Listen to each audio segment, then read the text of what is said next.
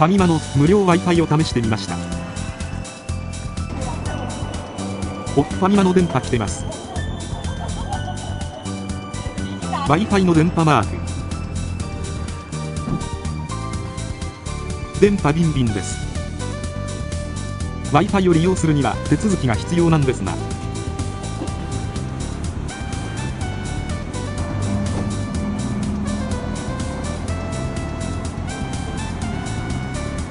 ファミマのホームページみたいなのに繋がった。一応一通り見てみます。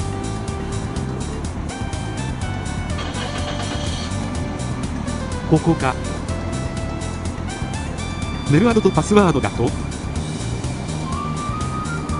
ああ初回利用登録をするので。いろいろ注意事項が書かれています。ここでメールアドレスを登録しパスワードを設定しました。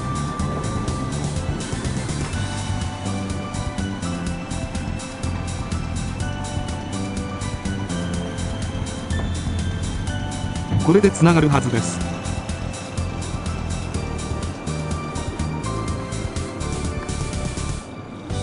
つながったようです。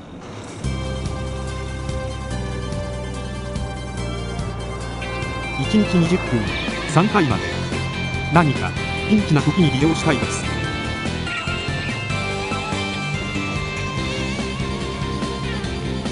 ここまで来て利用できるようになるんですが。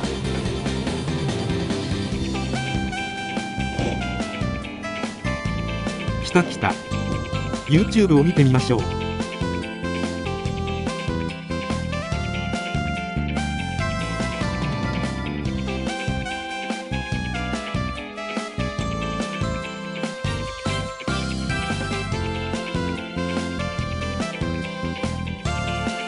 問題ない感じですね。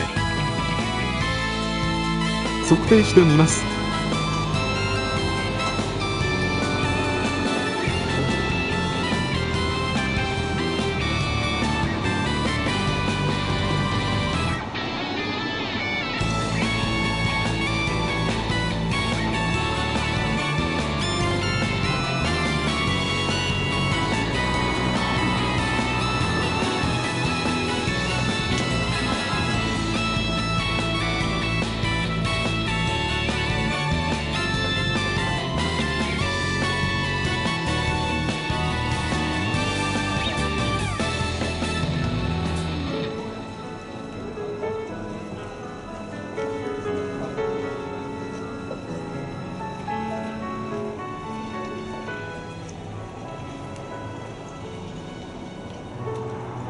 速度出ています。ファミマなら近くにあるので何かの時に利用したいです。